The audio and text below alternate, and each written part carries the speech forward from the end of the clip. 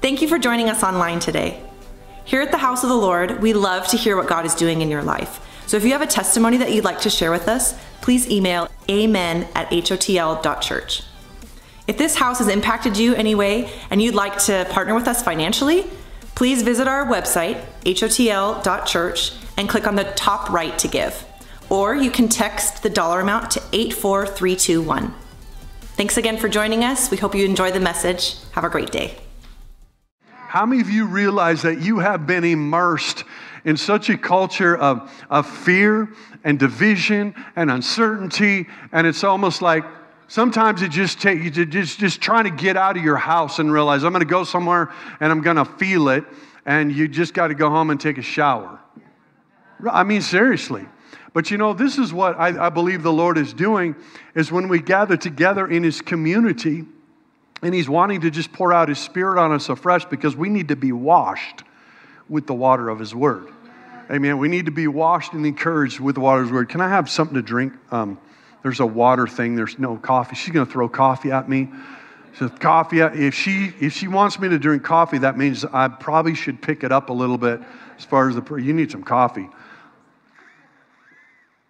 But let me let me get into this. Ephesians chapter six, verse ten through eighteen. Paul is saying, finally, after all this, finally, he said, Be strong in the Lord and in the strength of his might. Put on the whole armor of God that you may be able to stand against the schemes, somebody say schemes, of the devil. For we do not wrestle against flesh and blood, but against the rulers, against the authorities, against the cosmic powers over this present darkness, against the spiritual forces of evil in the heavenly places. Therefore, take up the whole armor of God that you may be able to withstand in the evil day, and having done all, to stand firm. Stand therefore, having fastened on the belt of truth, having put on the breastplate of righteousness, and as shoes for your feet, having put on the readiness given by the gospel of peace.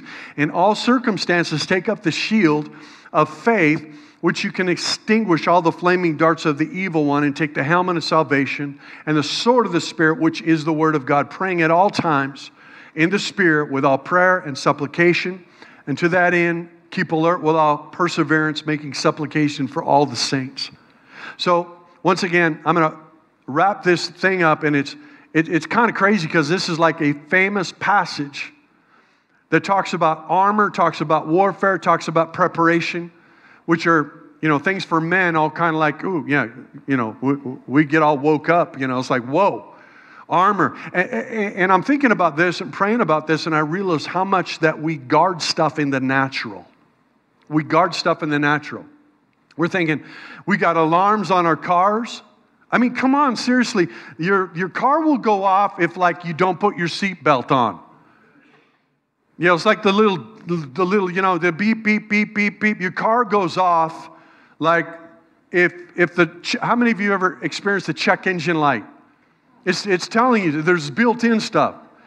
Now, I've actually realized that as I'm getting older, the check engine light comes on a little more often. I was, I was talking to one of the older gentlemen in our congregation. He says, When you get my age, it stays on all the time.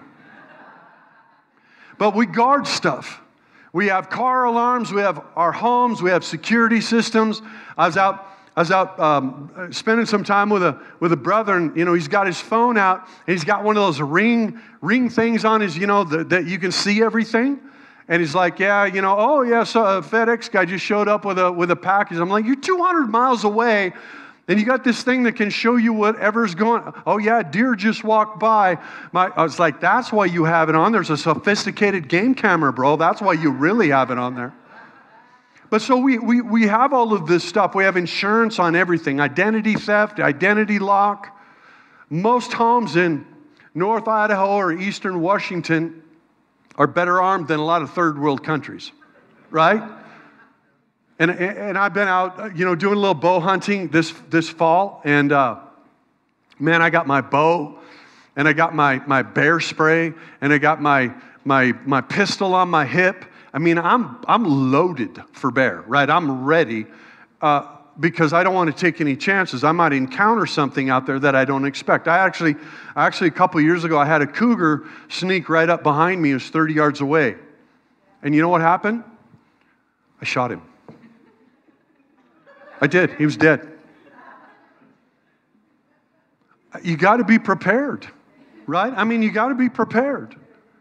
And so I, I was showing my hunting buddy what I carry in my pack.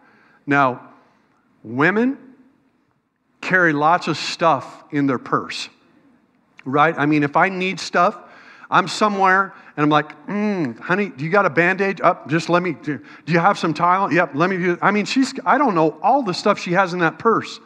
But men, they have lots of stuff in their packs. So we're sitting, we're taking a little break, we're hunting, and I'm like, and he goes, Man, I says, I need a little, do you have a little tool? I said, Yeah, I got a tool. I reach in there and I, I pull out this multi tool. And then I started pulling, we just started pulling stuff out. I guess we were bored. The elk weren't bugling. I don't know what's going on. But I'm pulling out stuff. I'm going, Yeah, I got, I got a knife. I got a two. I got duct tape. Yes, I got duct tape in my backpack. You live in Idaho, you got to have some duct tape in your backpack. I got emergency blanket, I got fire starter, I got everything. I got rubber, I got everything in there. No wonder that thing weighs 35 pounds, 40 pounds. And people also prepare, right? I mean, they got we have generators, we have dry goods, we have cash on hand, we got a safe in the shop, we got a safe in the house, we have several gallons of fuel, we have a pantry full of stuff. And if you don't have a pantry full of stuff, you should know somebody that does. That's how I roll. My buddy was telling me, oh, yeah, we got this, we got that. I'm like, address, note your address, because something happens, I'm coming to your house. Right? But here's the thing all the preparation, all the guarding, all the armament, and so many believers don't put on the whole armor of God. They don't. I call the message Dress for success because there's a way. I was actually reminded of a Mark Twain quote. He said, Clothes make the man, naked people have little or no influence on society. Seriously, that is such a great quote. I've memorized it because it's so true, right? I mean, I mean, if we look at this, we, we realize, okay, and, you know, and then there's images in your head, and you're like, I cannot unsee what I just saw again. But they're naked people are actually means something's wrong, or, or it's embarrassing, or it's just like, what? I mean, the TV shows don't even like that. Like you watch a football game and some guy strips and runs across a field. They don't even show that anymore because they realize that's not a good visual. That does not sell, you know, cars or whatever. But if you think about this, if we have a bunch of well dressed people in the natural and naked spiritually, all the while that armor has been ready, because that's what we're talking about. How about families where, you know, when Robbie and I were married, there was a point in time where I'm just trying to get by for Jesus. I got my fire insurance and and she's just plugged in and she's reading the Bible and she's in community and she's praying all the time and listening to worship music. And, uh, you know, when I look at it now, I feel like, man, what was I thinking? I'm thinking that her armor is going to protect me. Mm-mm, doesn't work that way. Doesn't work that way. Spiritually naked people have little or no influence in the world. They have little or no influence in the world. And you know what a harsh verse in the Bible that addresses that? In 2 Timothy 3 5, it says, having a form of godliness, but denying its power, have nothing to do with such people. So there's these challenges and preparations that we need to make in the natural, but Paul defines our war as spiritual. And so many times we we don't grasp that. It says in verse 12, For we do not wrestle against flesh and blood, but against the rulers, against the authorities, against the cosmic powers over this present darkness, against the spiritual forces of evil in the heavenly places. My bear spray may work with a bear, but it's not going to work with the scheme of the enemy. It's not going to work when I'm encountering spiritual warfare or that I don't recognize it. What's happening right now like, if we, you know, a lot of times when, how many of you have ever, like, okay, for married people, how many of you have ever had an argument with your spouse and then kind of went, What in the heck were we arguing about? Come on. Well, you know what? The, the thing is, you have an enemy that tries to kill, steal, and destroy. And so when, when we're in those kind of conflicts, we have to go, okay, what, what is really happening here? Do we, have, do we see the overall spiritual strategy and scheme?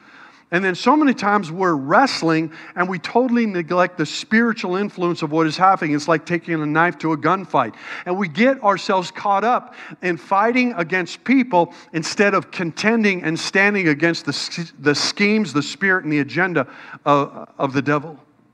See, you and I were not anointed to win arguments. There's not a shelf in your house, or there shouldn't be a shelf in your house that's that's where the all argument trophies go. It's like I've got a taxidermist friend of mine that lives right across the street. And it'd be like me going over and say, Bro, dude, I won this argument on social media is at least a 300 he scored at least 350 points can you like put this on the wall for me that's not what our anointing is about but yet we do it all the time we engage it all the time and we forget that the very people we're supposed to reach out are the ones we're contending with we're actually called to disciple right jesus said go into all the nations discipling baptizing them in the name of the Father, Son, and Holy Spirit. So, what happens, what meters my response to any situation is how does this come into the framework of discipleship? And usually I have to back up. In my mind, I'm warring furiously with somebody. I just, uh, but I can't because I'm measured by the Holy Spirit. I do believe there are principalities and illegitimate spiritual influences over regions, over states, over nations. I've seen it. For example, I believe there's a spirit of pornography over Hollywood, gambling and addiction over Las Vegas, Nevada, suicide. Do you know that Las Vegas is actually the highest rate of suicide in the nation?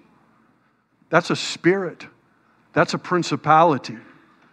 That's, I, I've been to nations where there's a spirit of poverty over them. I've been to places where there's a like that slave trade and and you know I mean just just nasty evil wicked stuff and you realize this isn't heaven this is this is basically this is from hell and it's manifesting on the earth and we have to contend against that stuff. I was kind of explaining the spiritual principle a number of years ago to my sons, and they were both in high school. We were moving to Idaho to pastor. And, and you know, so I tell them, and, they, and, and, and then they said, Well, Dad, what, what spirit do you think is over the state of Idaho? And then my younger son pipes up and he says, I think it's the spirit of the potato. No. You didn't get it.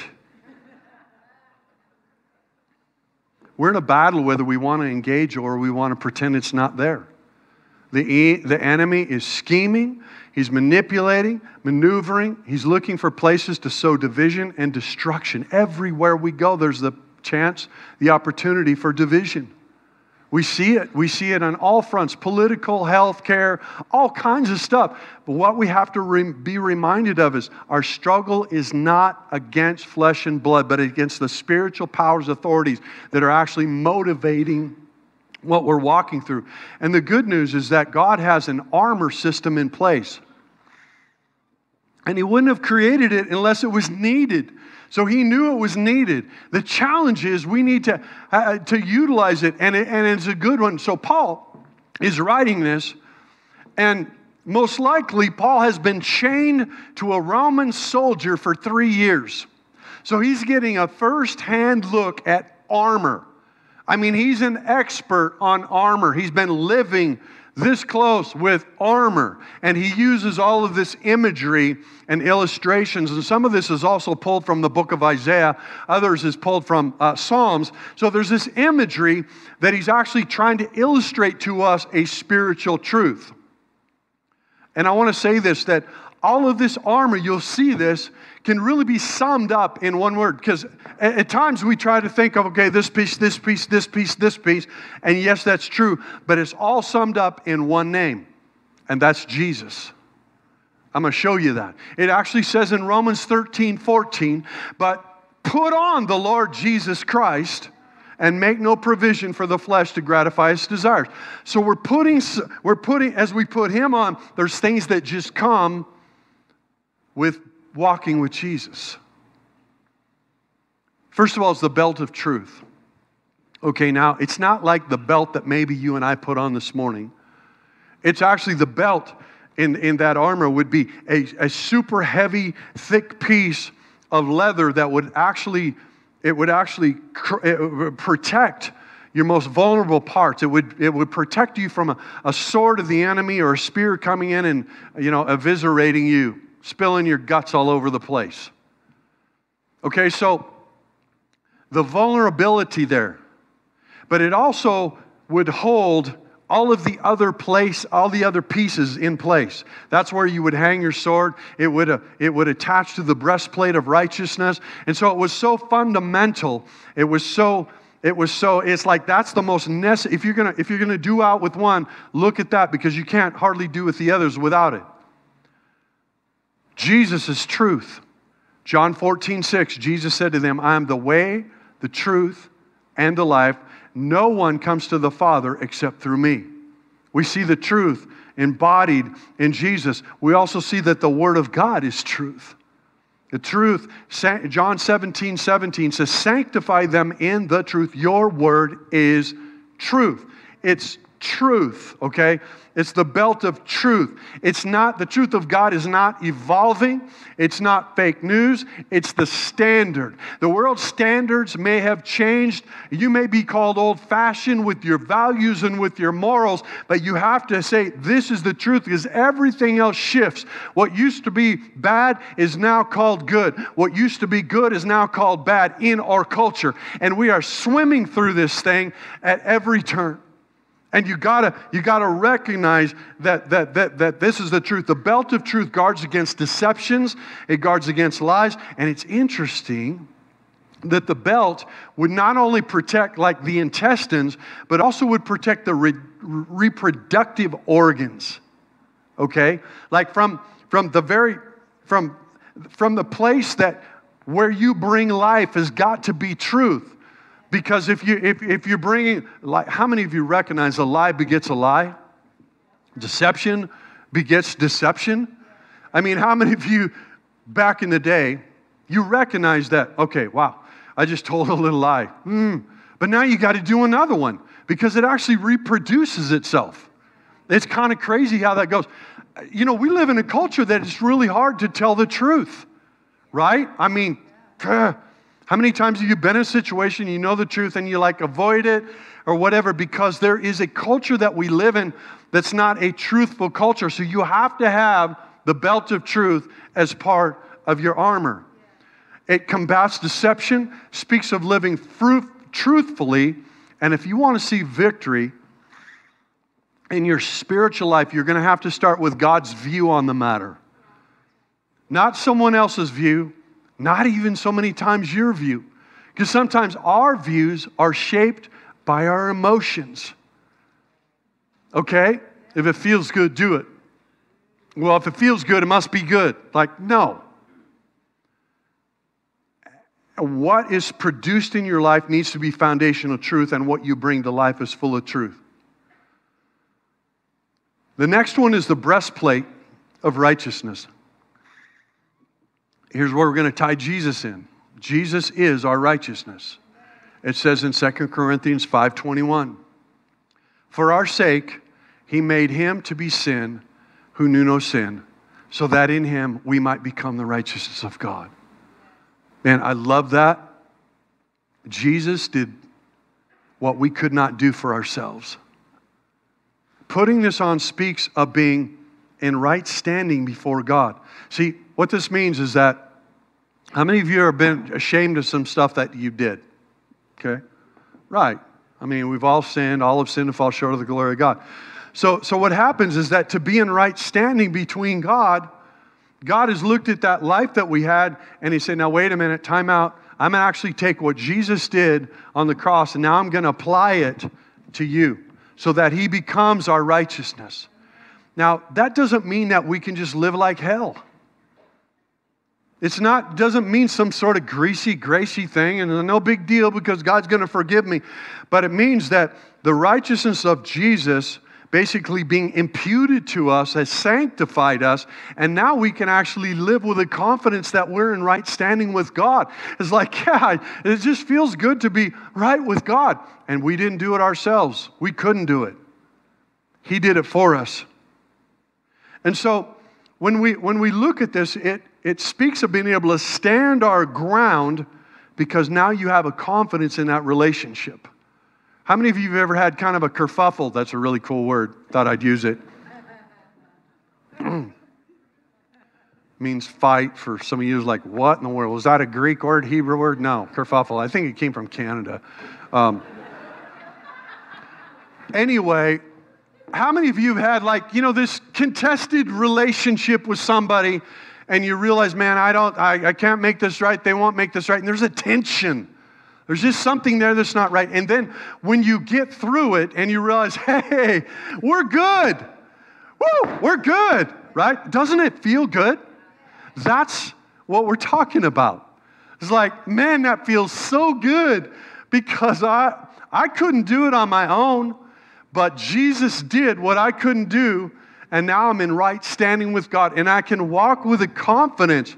And basically, it just protects you against a bunch of stuff like condemnation. Okay? So that's a breastplate of righteousness. And then, how about the shoes for your feet? The, the, the readiness of the gospel, the gospel of peace. There's so much imagery here. The Roman soldier would have these really heavy sandals, and then he'd put nails in the soles so that if he got in battle, he could stand. You ever tried to do anything like athletic with sandals on?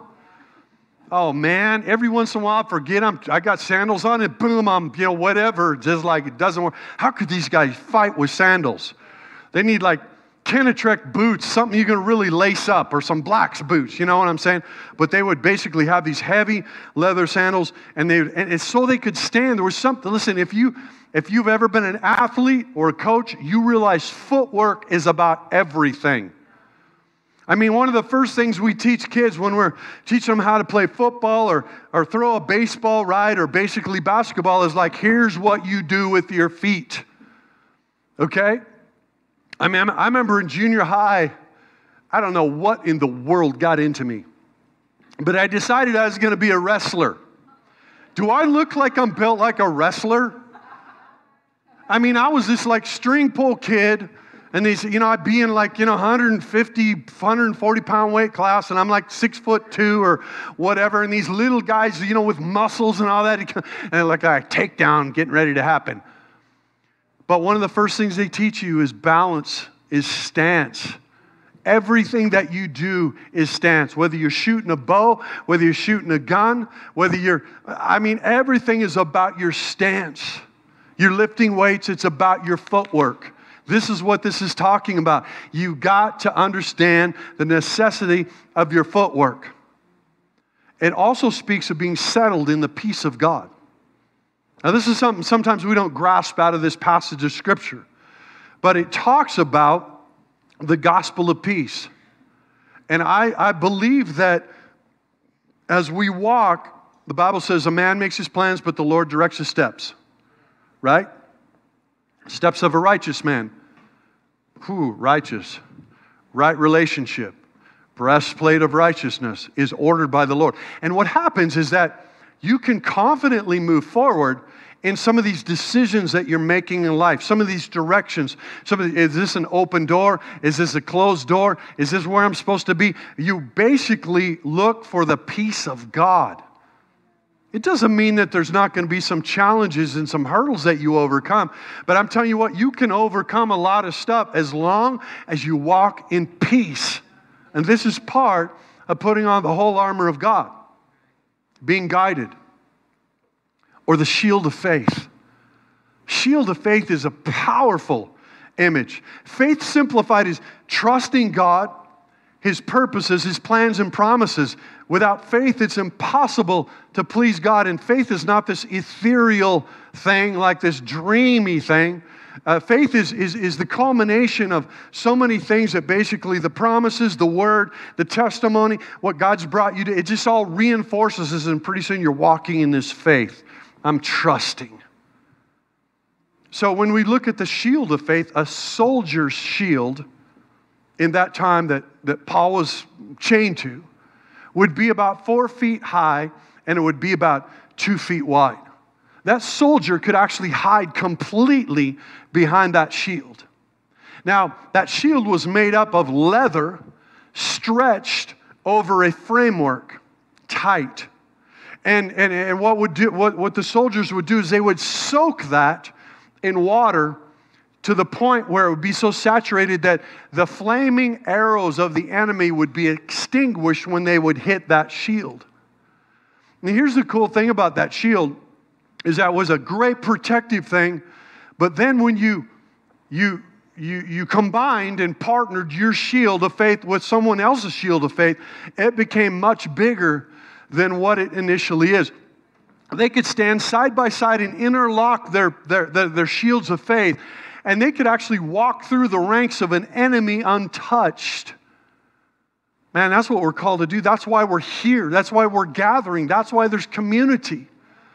Because you know what? God has not called us to just walk this lone ranger, me and Jesus got a good thing going. He's actually built us together as a family.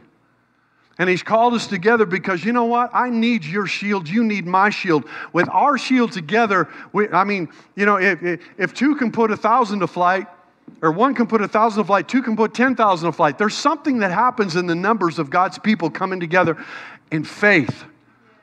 And it doesn't work if I'm trying to, you know, have the whole armor of God and you're running around spiritually naked. That's weird. It's like, yeah, we're brothers, but you're naked. I got all this stuff. Man, I don't know how close I want you to get in my shield, bro. That's just weird. Okay, you can't unthink that now. But think about this. Think about just faith. I was talking to the guys Thursday night at Armor Up, and one of the things that just dropped in my spirit was that somebody that's walking in faith can totally change the atmosphere of a room full of fear. I mean, it's crazy how it works. But you got a room full of fear, and somebody walks in there with the shield of faith, and it changes the perspective because now people start seeing things the way that God sees them. An example of that is John chapter 20, where the disciples are huddled in fear, and Jesus just appears in the room, and suddenly the atmosphere is changed. What what atmosphere are you cultivating? Are you cultivating an atmosphere of faith and being an overcomer? And like, yeah, I know it's tough, but you know, my God still moves mountains. Yeah, it's difficult, but my God still restores. It's tough, but I'm empowered by the Holy Spirit. This is not going to bother me. I'm not going to let this thing bother me because I've got the full, the whole armor of God on. Someone needs to say amen to that. You know, I don't know. Sometimes I go on these little rabbit trails. Sometimes you segue into something. Segue is just a fancy name for rabbit trail. But I got to thinking about Jesus, the body. I mean, his body. You know, here's this resurrection body, which I believe illustrates the kind of body that we're going to have. And I don't know if you've thought about this before, but that was really super cool because he, I mean, he was still flesh and blood, right? I mean, they touched him, they saw the scars. Thomas touched his wounds. He still ate. I mean, he, he, he made breakfast for the boys down at the beach and he ate fish. That's really cool. Wow, so when I'm thinking, I imagine a lot, I've like had this great imagination. I'm thinking that would have, that would be so awesome I'm still going to be able to eat in heaven. Cool. And I can go through closed doors. I mean, think about this. I remember talking to an old pastor, he's with the Lord now, And I, and I asked him, I said, So what do you think? How old do you think our heavenly body is going to be like this? You know, this, this, you know, we put off the old earth tent, we get the new, you know, heavenly one.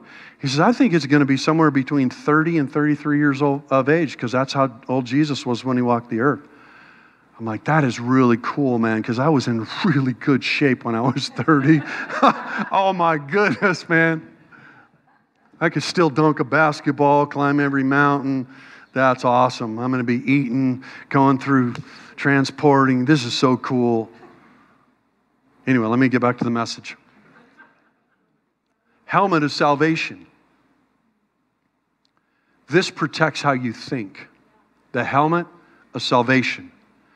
Protection of the mind and speak of the powers, speaks to the powers of thought. So much of what we speak today is defined by what we think, and what we think too often is framed by our emotions instead of the Word of God. One of the most co- important components of salvation is hope. It's hope. It, you, can't, you can't separate hope from salvation. Christ in you is the hope. And so when, when we think about that, oh my goodness, what we have is a commodity that you can't buy in the world today. Think about hope. You are walking chest hope if Jesus lives in you. Wherever you go, you have this hope. I mean, seriously, you got this hope. You walk into that room full of fear, that room full of division, that room full of despair, and you got like, you have this hope. You can't separate it. And, and, and putting on the helmet of salvation moves your mind under the provision of the blood of Christ. It's like I'm taking, it allows the Lord to penetrate your thought process and radically change some of the stinking thinking that we basically walk in. It's like, I don't like the way that I'm thinking. I'm going to bring that under. I'm going to put the helmet of salvation on, understanding the provision of Jesus through the cross will allow me to think different. It says in Romans 12, do not be conformed to the world, but be transformed by the renewing of your mind. Jesus will renew your mind by his word. Man, I'm so grateful for that. It says in Second Corinthians, 10, 4 through 5, for the weapons of our warfare are not of the flesh, here's that flesh again, but have divine power to destroy strongholds. We destroy arguments in every, oh, wait a minute, Pastor, I thought you said we weren't arguing. We're not arguing against flesh and blood. He says, We destroy arguments and every lofty opinion raised against the knowledge of God and take thought every captive to obey Christ. Man, I'm telling you what, there's a lot of believers today that need to be taking some thoughts captive. Because we're running around like a bunch of half naked spiritual people and we're not doing anybody any good. We've got, we, have got to bring this in and understand what the full armor, the whole armor of God is. Most of the warfare raged against us starts in your mind. And that's the importance of the helmet. For example, the person who struggles continually with thoughts of rejection, they become self fulfilling prophecy. You know, if you've, you've come out of a, a, a situation where maybe you were abandoned, you know, as a child, you didn't have a father and, and what happens is that it can put a kind of a, re, a, a wound in you, a rejection in you. And then every time you turn around, there's something that's actually going to confirm that. You've got to bring that thinking underneath the helmet of salvation. You've got to realize no, I may not have had it the greatest here on earth, but I got the greatest in heaven. I may not have had it down here, but I've got it up here, and I can appropriate that now. I can understand now what that feels like. There's something where I don't have to tolerate that. Or fearful suggestions that come in, they can lead to fearful living. They can. Or maybe you're struggling with healing. Maybe you're just struggling with, man, I just got so much stuff going on in my body. You know, that's when the sword of the Spirit comes into play. That's when the Word of God reminds you. Like, oh, I'm rejected. No, the Bible says I'm accepted. Well, I'm a, I'm a, I'm just a terrible person. Therefore, there's no condemnation to those who are in Christ Jesus. I can't believe the way that I used to be, and am I still that way? If any man is in Christ, he's a new creation. All things have passed away, all things become new. I began to actually war against some of that stuff with the Word of God. That's what Jesus did. And you got to war that way. Or, or, man, I don't know how I'm going to get through this physical thing that I'm walking through. Psalm 103 Bless the Lord, O my soul, and forget none of his benefits, who forgives all your iniquities, heals all your diseases, who redeems your life from the pit, who crowns you with everlasting kindness and mercy, and gives your life good things so that your youth may be restored. Man, I memorized that because I was walking through some physical stuff and I had to war with the sword of the Spirit. That's good preaching, somebody. Not bad for three months off. Jesus, you get all the glory. That's the sword of the Spirit. Paul tells us be anxious for nothing, but in everything with prayer, supplication, and thanksgiving, let your requests be known to God. And the peace of Christ, which surpasses understanding, will guard your heart and your mind. Whoa. Man, I don't know though. The Bible tells us not to worry. Jesus said, What man by worrying can add one cubit to his life? I'm like, What's a cubit? Well, cubit is a very deep theological term to measure distance. I'm kind of messing with you. But, you know, I find, okay, what's a cubit? I'm, you know, well, a cubit is actually the distance if you make a hand like this and the distance between here and your elbow, that's cubit. Like 1.5 feet. Unless you got short arms, you know? It's like. So Jesus is saying, What man by worrying can add 1.5 feet to his life? And then he points out this. He said, Look at the birds of the field. They don't sow, they don't reap. And Solomon Look at the lilies of the field. Solomon was never displayed in the glory like that. Why are you worrying? Worrying is unnatural. Worrying is demonic. You know why I say that? Because everything that God created, there's only one thing that God created that worries, and that's mankind. And He didn't start worrying until the fall in the garden, and then He began to worry. It's not meant for us. I'm not saying it's easy. We, we get caught up in worrying. We get sold things because we worry. You better have this, you better have that, because it might happen. I mean, it's a constant thing that we're battling about. Does that mean you have your head in the sand and you don't do natural? I, I'm not saying that. But I'm saying that too many times what it looks like to me is the squirrel in my backyard grabs a nut or a pine cone, right? You've seen it. Doesn't change anything. It's not natural. We're not created for it. That's, that's putting on the whole armor of God.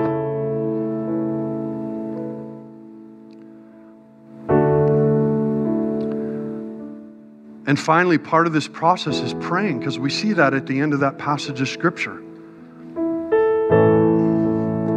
It says, Take the helmet of salvation, the sword of the Spirit, which is the Word of God, praying at all times in the Spirit and supplication. There's something about this that we've got to understand.